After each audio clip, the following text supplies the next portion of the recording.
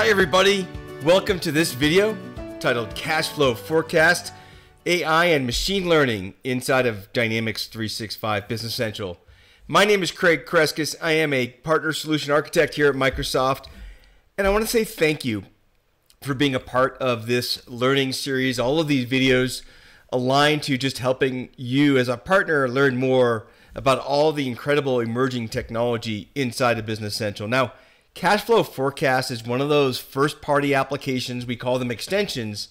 Uh, and first party meaning it was produced by our development team here at Microsoft. And it's been in the product for a number of years, but I just want to make sure that you have the understanding of how to go and enable it and demonstrate it inside of your Business Central demos. So here I am inside of Business Central, and I'm going to go ahead and select Cash Flow Forecast. Now, Again, I use the, the toolbars at the top to ensure that I have a single click.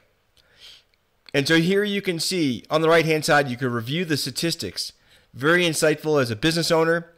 Pretty standard functionality. So I'm going to compare and contrast uh, the Azure AI infused into the cash flow. But first, I just want to start with just the standard functionality. Um, and then you'll see as we build upon it when you're building your own cash flow model how to leverage the predictive insights. And so here I can go ahead and select on the cash flow forecast, uh, suggest the uh, worksheet lines if I want to drill into some of the additional detail. Scroll down, you can see all of the options or the sources that I've included.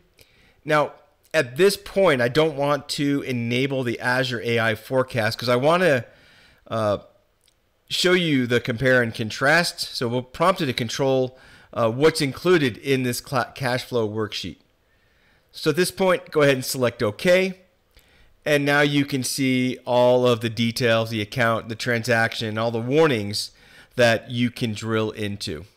We'll go ahead and close that out.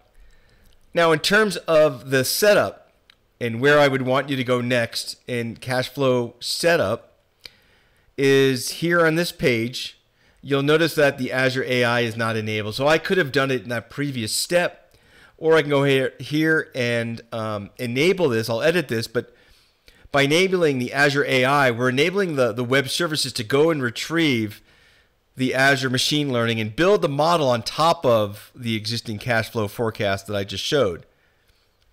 So let's go ahead and hit edit.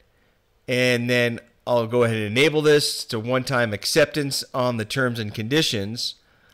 And now that I have that running, you can open up and if you want to learn more details around the forecast model, how it works, uh, as you can see by the publish date, this has been inside of Business Central for uh, a number of years. And then if you come back to Business Central, the way in which I like to demo it is inside of the Intelligent Cloud Insights window. So here you can see I've got this Intelligent Cloud Insights, gives me some of my KPIs, uh, embedded Power BI reports. And then you can go ahead and on the cash flow forecast, you probably don't have this yet, or you won't have data much like I didn't. And then all you have to do is hit recalculate the forecast. You'll select yes. And now you'll see all of your cash flow, but then the predictive analysis part where Azure AI is coming in and looking at some of the futures of our business and predicting what my cash flow would be.